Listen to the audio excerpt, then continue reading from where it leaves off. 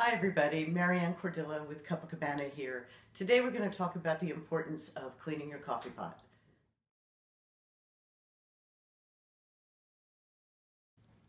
Okay, so why is it important to clean your coffee maker?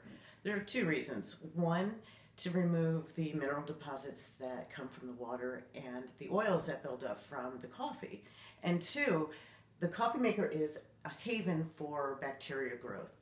Uh, bacteria breeds in a warm, dark place, and the coffee pot has many hard to reach places. So we want to get that cleaned out so we can keep you healthy.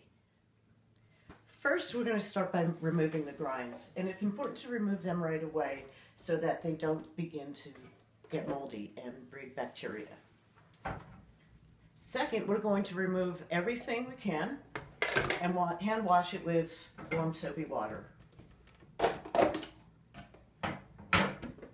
So once we get the parts clean and put back together, we're going to use a mixture of warm water and white distilled vinegar and dump it into the reservoir.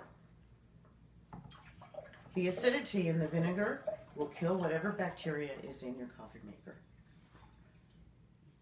Now we're going to add it to the coffee pot.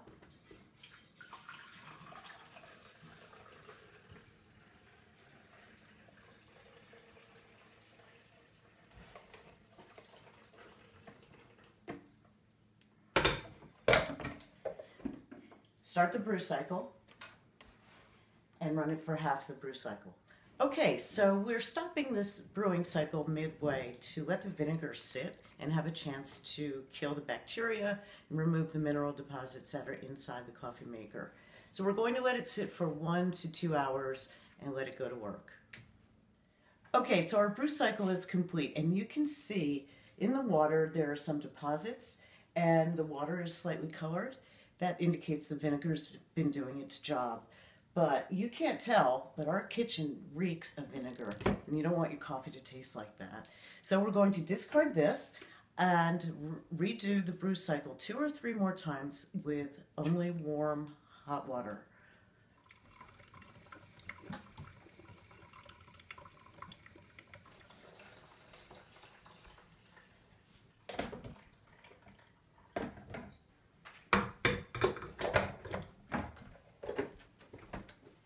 Enjoy your next cup of coffee.